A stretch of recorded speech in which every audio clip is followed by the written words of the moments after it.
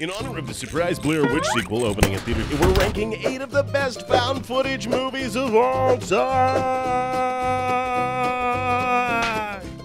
You are number eight.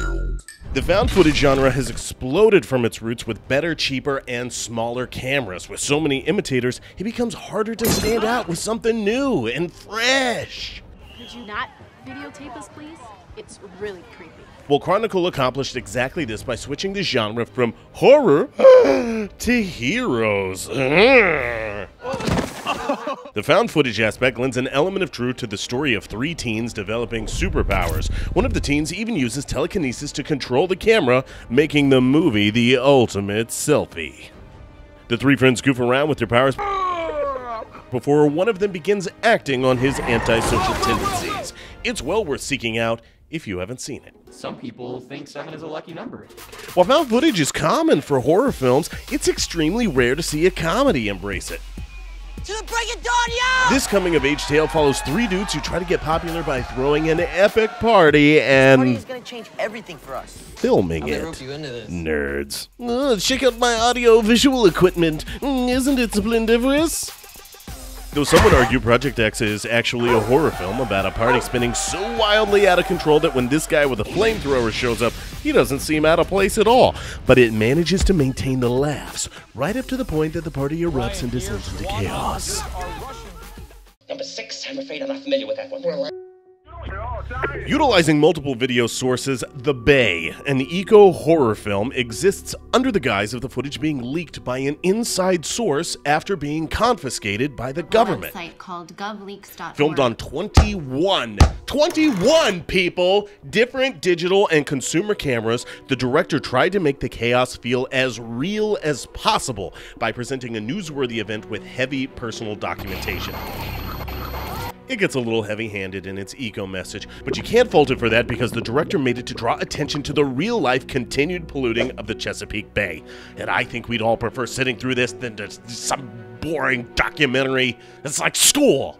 Five, five, five. With 10 kills in only two tours, she's been unstoppable. Well, over 15 years old now, Series 7 is just getting its driver's license and continuing to be relevant in its portrayal of a reality television game show gone insane. Danger in a fight for their lives on the contender. As the contenders chosen randomly by their social security numbers are forced to kill each other to win. While reality television has gotten way more glossy than Series 7 predicted, this dark comedy ends up feeling like old episodes of Cops. And feeling all the more real because of it. There's a bomb in your house and it's going to blow in about five, four, three, two, one.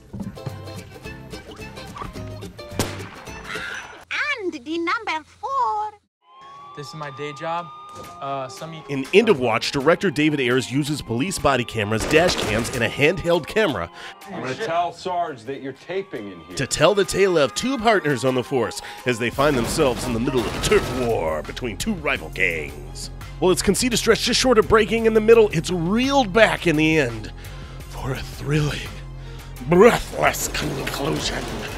That made three. Lake Mungo inherently feels like a finely crafted documentary about a family dealing with the grief of losing their daughter.